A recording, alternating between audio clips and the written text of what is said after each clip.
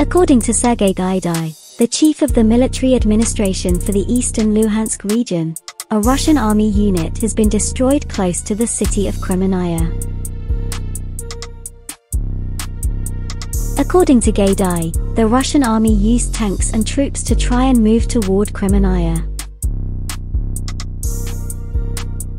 However, the advancing Russian soldiers as well as armored vehicles were neutralized by the Ukrainian army.